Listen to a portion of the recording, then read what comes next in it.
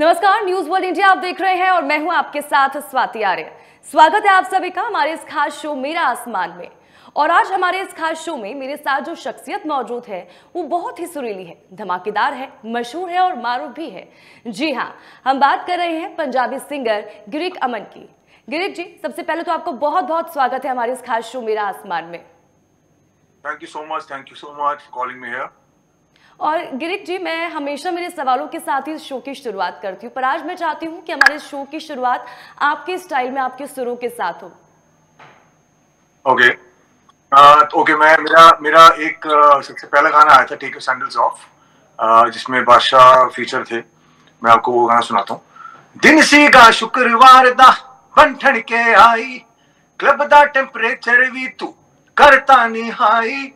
DJ ਨੂੰ ਕਹਿ ਕੇ ਆਪਣਾ ਹਾਂ ਗਾਣਾ ਲਵਾ ਲਿਆ। ਕੋਕਾ ਕੋਲਾ ਦੇ ਵਿੱਚ ਫਿਰ ਉਹਨੇ ਕੁਝ ਪਾ ਲਿਆ। ਜਦ ਮੈਡਮ ਆਹੀ ਵਿੱਚ, ਜਦ ਮੈਡਮ ਆਹੀ ਵਿੱਚ, ਫਿਰ ਅਗਵਾਂਗੂ ਉਹ ਮੱਚੀ ਡਿਸਕੋ ਵਿੱਚ ਗਾ ਪੈ ਗਿਆ। ਜਦ ਸੈਂਡਲ ਲਾ ਕੇ ਨੱਚੀ ਡਿਸਕੋ ਵਿੱਚ ਗਾ ਪੈ ਗਿਆ। ਜਦ ਸੈਂਡਲ ਲਾ ਕੇ ਨੱਚੀ ਥੈਂਕ ਯੂ बेहतरीन। अब गिरिक जी अगर हम म्यूज़िक की बात करते हैं, मैं सबसे पहले आपसे ये जानना चाहती हूँ कि इसकी शुरुआत कैसे हुई? ये सफ़र कैसे शुरू हुआ? ये सफ़र शुरू हुआ था 2011 में। I was I belong to business family and मेरा पैशन था सिंगिंग का कि मुझे मुझे गाना गाना है। मैं स्कूल कॉलेज में अपने गाने परफॉर्म करता था जिम एक्सरसाइज करता था तो गाने गाता था। तो मुझे, मेरे जो फ्रेंड्स होते थे जो मेरे कॉलेज में स्कूल में और जिमिंग पार्टनर जो होते थे वो सब मुझे कहते थे यार तुझे एक बार ट्राई करना चाहिए you should go for singing and you have a good voice so I have not learn yet मैंने सिंगिंग कभी सीखी नहीं है बट एक uh, माता रानी का सरस्वती माँ का एक uh, वास है गले में मुझे ऐसा लगता है लोगों को लगता था। तो बस 2011 से चलता आ रहा है और मैं अपना बिज़नेस छोड़ के सिंगिंग लाइन में एंटर करा और बस आपकी दुआ से आज सब बढ़िया चल रहा है।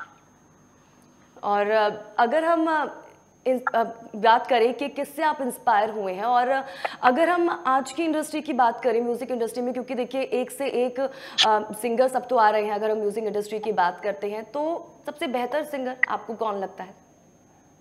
देखिए सारे बेहतर हैं सब अपनी स्ट्रीम में सब अपने जॉनर में बहुत बढ़िया गाते हैं। ऐसा कहना तो बहुत मुश्किल है कि आ, कौन बेहतर है और कौन बेहतर नहीं है। सारे बहुत बढ़िया कर रहे हैं और मेरा कोई आइडियल स्पेसिफिकली मैं मैं सूफी सॉन्ग सुनता था जब आ, मैं स्कूल कॉलेज टाइम में था। तो मैं वो सुन सुन के सीखा हूँ। तो मुझे बेसिकली आ, आ, सूफी गाने सुनने का शौक है और सूफियाना आ, मेरे जो जो सिंगर्स हैं जो सूफी गाते हैं मुझे वो ज़्यादातर पसंद आते हैं। हंसराज हँसी हो गए लेजेंड और आपके आ, लेट नुसरत फतेह खान साहब हो गए राहत फतेह अली खान साहब हो गए। मतलब इस तरीके के जो सिंगर्स हैं जो जो लेजेंड है मैं उनको सुनता था और बस मुझे पसंद भी एक्चुअली वही है। बिल्कुल, और अगर हम बात करें, क्योंकि देखिए अपने दर्शकों को मैं ये भी बता दूँ कि गिरिक जी उन सिंगर्स में से हैं जिन्होंने पंजाबी म्यूज़िक इंडस्ट्री को एक अलग दिशा दी है। हम जब भी कहीं भी जा रहे होते हैं गाड़ी में या फिर जब भी पब्लिक प्लेस में होते हैं पब्स में क्लब्स में जाते हैं डिस्को में जाते हैं वेडिंग्स में होते हैं। तो हम जब भी बात कर रहे होते हैं तो देखिए पंजाबी गाने जब आप सुनते हैं तो अचानक से आप थिरकने लग जाते हैं। पंजाबी गानों की तासीर ही ऐसी होती है, वो आपको पागल कर देती है और कुछ ऐसा ही जादू गिरिक जी भी अपने गानों से कर रहे हैं और पहले भी करते थे और अभी भी करते आ रहे हैं। गिरिक जी, अगर हम से बात करते हैं स्ट्रगल्स की, क्योंकि देखिए जिस तरह से आप म्यूज़िक इंडस्ट्री में आए, आपने एक अलग पहचान बनाई बहुत से स्ट्रगल्स होते हैं। आ, उन स्ट्रगल्स के बारे में आ, कुछ बता पाए कोई ऐसा वाक्य जो आप कभी भुला नहीं पाएँगे? कितनी मुश्किल आई डिफिकल्टीज की अगर बात करें तो? देखिए स्ट्रगल तो आज तक भी चल रही है। मुझे ऐसा मेरा ऐसा मानना है कि आप कितने भी किसी फ़ील्ड में कितने भी हाइट तक पहुँच जाए वो स्ट्रगल खत्म नहीं होती वो भूख खत्म नहीं होती नेम फेम की पैसे की।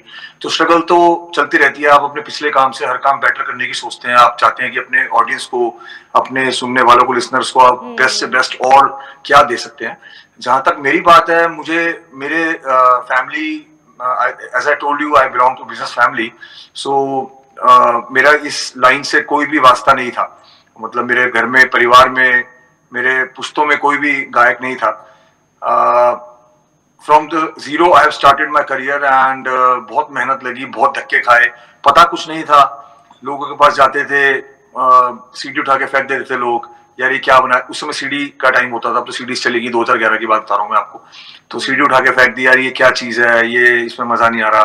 कुछ नया लेके आओ। दिल टूटता था फिर मेहनत करते थे। फिर उस मतलब बहुत डिफिकल्टीज फेस करी है लाइफ के अंदर और uh, मुझे ऐसा लगता है कि आज मैं जिस मुकाम पे हूँ आज आपके चैनल पे बैठा हूँ आपने इतना uh, सम्मान से प्यार से मुझे बुलाया। uh, मुझे ऐसा लगता है कि वो जो मेरी स्ट्रगल थी वो कहीं ना कहीं कामयाब हुई और आज लोग प्यार करते हैं आप लोग प्यार करते हैं। बिल्कुल और गिरिक जी देखिए व्यूअर्स की बात कर रहे थे अगर हम फैंस की बात करते हैं तो देखिए हमने दर्शकों को ये भी बताते हैं कि गिरिक जी उन सिंगर्स में से हैं जिनके गानों पर रोज भर भर के व्यूज़ आते हैं लाइक्स आते हैं अब गिरिक जी अगर हम फैंस की बात करें फॉलोअर्स की बात करें तो कैसा लगता है जब आप रोज अपने गानों पर व्यूज़ बढ़ते हुए देखते हैं या फिर आप, आपको कोई बताता है कि अरे आपके गानों पर देखिए इतने व्यूज़ आ चुके हैं और फॉलोअर्स बढ़ चुके हैं कैसा लगता है तब देखिए अच्छा लगता है छप्पन इंच का सीना हो जाता है चौड़ा जब हम्म। आपको लोग पूछते हैं आपसे प्यार करते हैं आपके गानों को पसंद करते हैं। और जहाँ तक व्यूज़ की बात है when I started my career in 2011 उस समय यूट्यूब का इतना सोशल मीडिया का इतना ट्रेंड नहीं था। यूट्यूब का ही ट्रेंड था। हम्म। आज तो क्या है कि यूट्यूब में आपका गाना डलता है। और उसके ऊपर पैसे स्पेंड करो आप बहुत सारे व्यूज़ खरीद लो। हम्म। दस मिलियन बीस मिलियन पचास मिलियन सौ मिलियन मेरा मानना यह है कि मैं आ, बहुत स्ट्रेट फॉरवर्ड सिंपल आदमी हूँ। मुझे पता है कि अगर मेरे गाने को लोगों ने पसंद किया तो इतने व्यूज़ आया तो ये मेरे अपने ऑर्गेनिक व्यूज़ हैं। चाहे वो दस मिलियन हो चाहे वो नौ मिलियन हो चाहे वो पंद्रह मिलियन हो चाहे वो वॉट्स एवर चाहे वो ढाई करोड़ हो चाहे वो तीन करोड़ हो। मुझे पता है कि वो लोगों ने मेरे जेन्यून देखे हैं वो मेरी वो मेरा फ़ैन बेस है। ना कि पैसे स्पेंड करके पैसे फेंक के व्यूज़ खरीद के आप पब्लिकली सौ मिलियन दिखा दो नब्बे मिलियन दिखा दो। तो आ, मुझे वो चीज़ थोड़ी समझ नहीं आती है।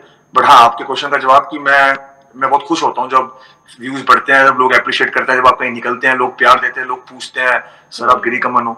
सर आपका वो गाना है सर मैं उसका फ़ैन हूँ।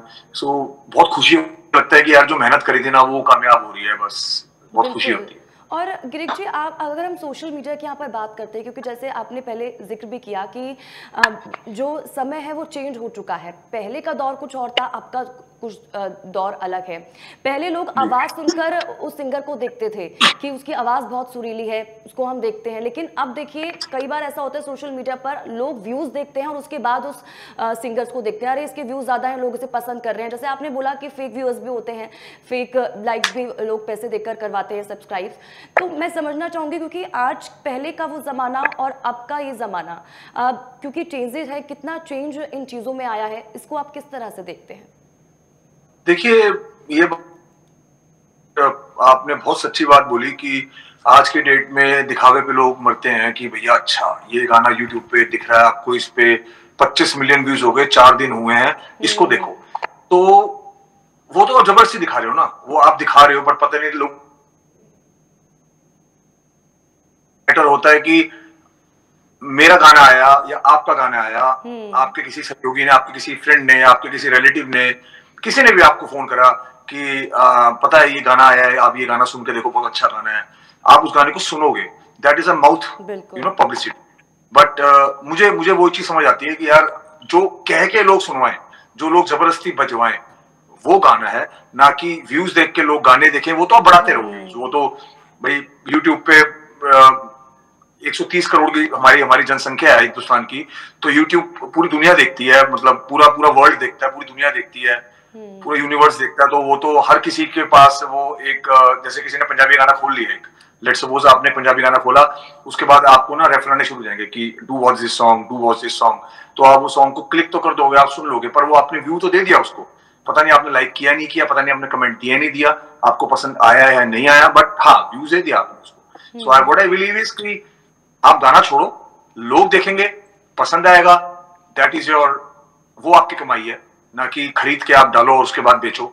मेरे को लगता है वो वो दिखावे वाली कमाई है। I don't believe in that और गिरीश जी, अगर हम पहले के दौर की बात करें, क्योंकि देखिए, अब जब इस इस बीच हम स्ट्रगल की बात करते हैं तो पहले दस लाख सीरीज़ अगर किसी सिंगर की निकाली होती थी, करोड़ों रुपए वो कंपनी खर्च करती थी, अगर जिसकी, जिनके साथ उनका कॉन्ट्रैक्ट होता था। कई बार कंपनी होती थी, वो सोचती थी कि अरे, इतना पैसा हम लगा रहे हैं, आगे चलकर सिंगर चलेगा, नहीं चलेगा। लेकिन अब का दौर ऐसा है कि लोग छोटी सी रील बनाते हैं सोशल मीडिया पर अपलोड कर देते हैं फ़ेमस हो जाते हैं। अगर इस बदलाव की बात करें ये बदलाव आप किस तरह से देख रहे हैं? और क्या ये कहा जा सकता है कि स्ट्रगल पहले के दौर से अब थोड़ा कम हो चुका है आसान हो चुकी हैं चीज़ें? देखिए इसके इस पहलू के इस सिक्के के दो पहलू हैं। आपने जो सवाल पूछा। हाँ स्ट्रगल पहले से बहुत आसान हो गई जब से इंस्टाग्राम की रील्स आई है टिकटॉक आया है। एक मिनट की रील बनाओ आप डालो गाना उठ गया। उसके हम्म। बाद आपका गाना चल जाता है। हम्म। और there are a lot of uh, Instagram, uh, you know, creators who take charges to make the reels. And uh, बात घुमा फिरा के वही आ गई कि ultimately you have to spend the money to make your song hit. घुमा फिरा के बात वही आती है तो बस यही है यहाँ पर गिरिज हम स्ट्रगल्स की बात कर रहे हैं। बहुत से ऐसे सिंगर्स हैं जो इस सिंगिंग लाइन में आना चाहते हैं इस इंडस्ट्री में आना चाहते हैं लेकिन पहुँच नहीं पाते उस मुकाम तक या फिर वो सिर्फ़ स्ट्रगल ही करते रह जाते हैं। उन स्ट्रगल्स के लिए मैं चाहूँगी कुछ कोई गाना अगर आप डेडिकेट कर सके तो जिससे उन्हें हौसला मिले। हम्म, गाना डेडिकेट कर सके जिससे हौसला मिले। देखिए मैं गाने से तो डेडिकेट गाना तो क्या डेडिकेट करूँ? मैं तो कुछ मैं मतलब अगर आपकी इजाज़त हो कुछ कहना चाहूँगा इस बात के लिए। कि अगर आप इस फ़ील्ड में आते हैं आपको शौक है आप स्ट्रगल करना आपको आपकी स्ट्रगल चल रही है हिम्मत ना हारे। Just keep giving your best of the best and later sooner आपको डेफिनेटली उस चीज़ का रिगार्ड रिवॉर्ड मिलेगा ही मिलेगा। क्योंकि जब आप किसी चीज़ के लिए परिश्रम करते हैं कुछ चीज़ शिद्दत से करते हैं ना तो हम्म। पूरी कायनात जुड़ जाती है आपको उस चीज़ को हासिल करवाने के लिए। सो बस मेहनत करते रहिए अपना बेस्ट देते रहिए और अपना जो आप गाना बना रहे हैं उस पर कॉन्फिडेंस रखिए कि आप जो गाना छोड़ेंगे जब मार्केट में तो लोग उसको पसंद करेंगे। Always be positive in life no negativity की यार पता नहीं चले ना चले। सो so, ये चीज़ कभी नहीं सोचनी। आप बस अपना काम करते जाओ बाकी ऊपर वाले पे छोड़ दो। गॉड इज़ ऑलवेज ग्रेट बिल्कुल और जो स्ट्रगल कर रहे हैं जो ये सोच रहे हैं परेशान हो रहे हैं कि कुछ हो नहीं पा रहा है हम इतनी मेहनत कर रहे हैं लेकिन आगे नहीं बढ़ पा रहे हैं। मायूस मत होइए मेहनत करते जाइए। एक, एक समय पर कहते हैं ना मेहनत का फल ज़रूर मिलता है और अच्छा ही मिलता है चाहे देरी से ही सही लेकिन मिलता ज़रूर है। तो मेहनत करते जाइए आप डीमोटिवेट ना हो अपने आप को मायूस ना करें। गिरिक जी आप दिल्ली से हैं दिल्ली में ही आपकी स्कूलिंग हुई है। दिल्ली वासियों के लिए दिल्ली के लोगों के लिए मैं चाहूँगी कोई गाना आप डेडिकेट करें। हमें तुमसे प्यार कितना ये तुम नहीं जानते। मगर जी नहीं सकते तुम्हारे बिना।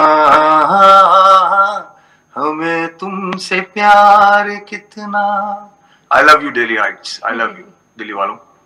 बहुत लोगों ने पसंद भी किया और कहते हैं ना कि गले में सरस्वती का वास होता है और संगीत तो एक ऐसा समुद्र है जिसमें आप जितना नीचे जाएँगे उतना ही गहरा दिखाई देता है वो। इसका कोई अंत नहीं है और कोई सानी भी नहीं है।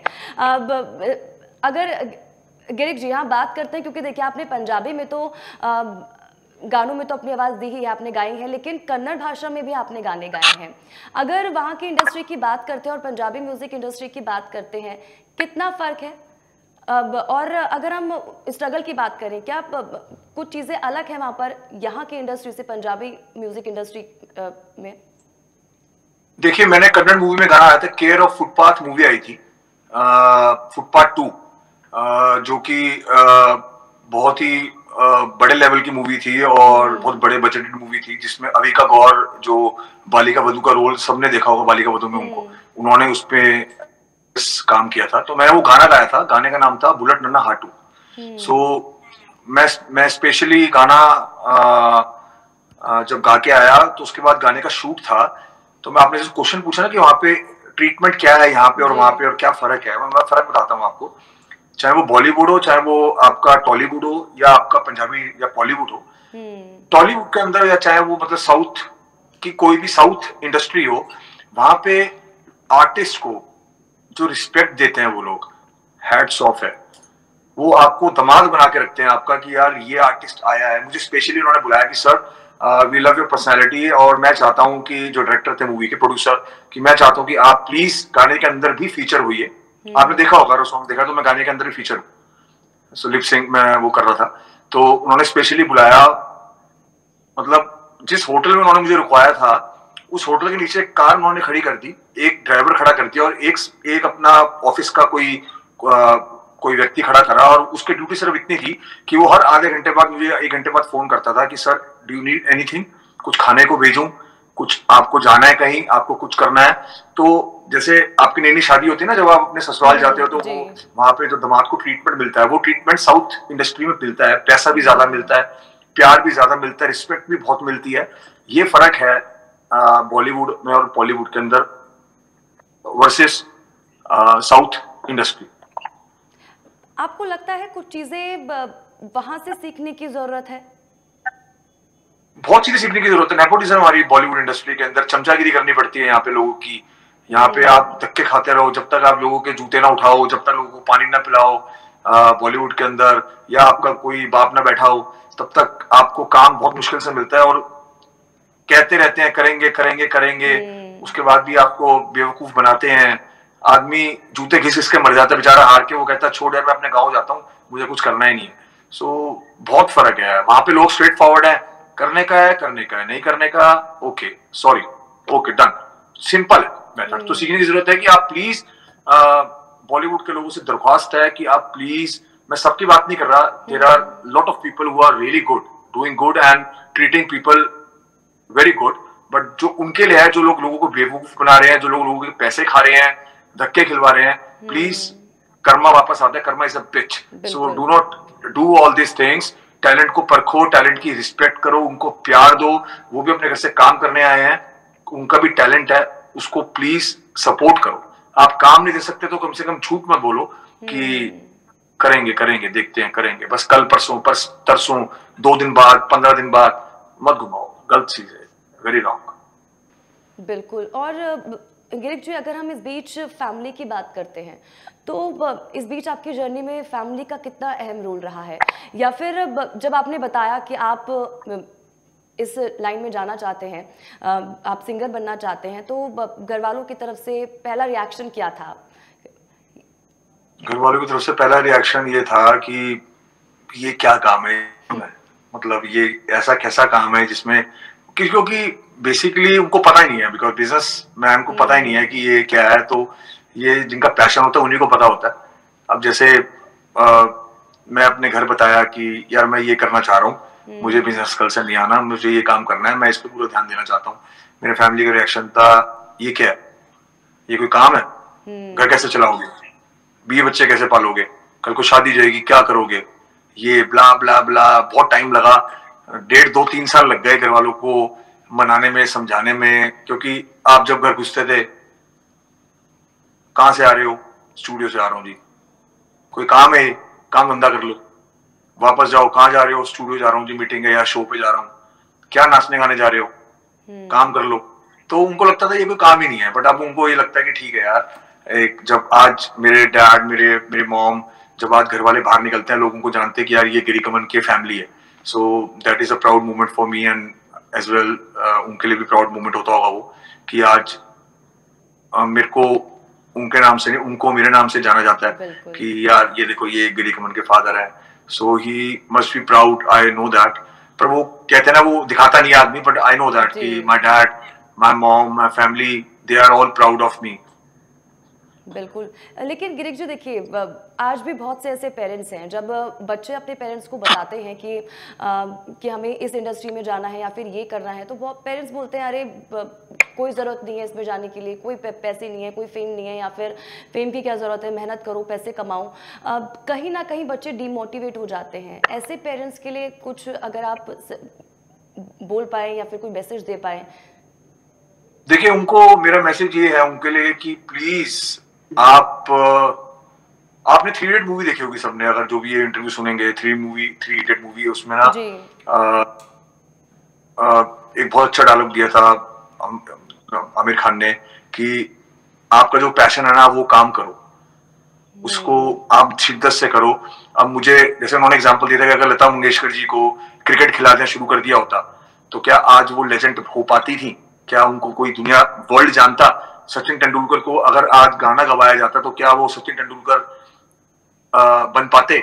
So what I mean to say कि अगर आपके बच्चे को इंजीनियरिंग नहीं करनी, उसको गाना गाना है, उसको म्यूज़िक का काम करना है, या उसको क्रिकेटर बनना है, या उसको कुछ भी करना है इंजीनियरिंग नहीं करनी तो please do not force him और her let them do what they want let them do what their passion is वो ज़रूर कामयाब होकर दिखाएँगे, उनको एक मौका तो दें, अपनी चीज़ें थोपे मत उनके ऊपर हम्म। जो करना चाहते हैं वो उनको करने दें। गिव देम टाइम ज़्यादा से ज़्यादा क्या होगा वो हार के ना? तो आप लोग तो बैठे ही हैं कोई बात नहीं। You have to support your children and you have to give them your back ना कि आप उनको फोर्स करें।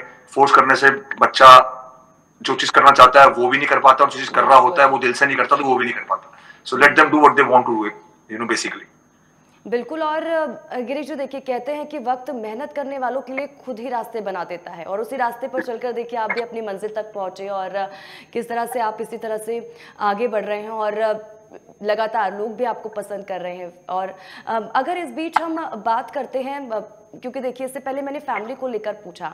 फैमिली आपके साथ रही लेकिन इस बीच कुछ लोग भी ऐसे होते हैं जो हमें डीमोटिवेट करते हैं। हमें पीछे धकेलने का काम करते हैं। ऐसे भी क्या जर्नी में कोई लोग आपके रहे?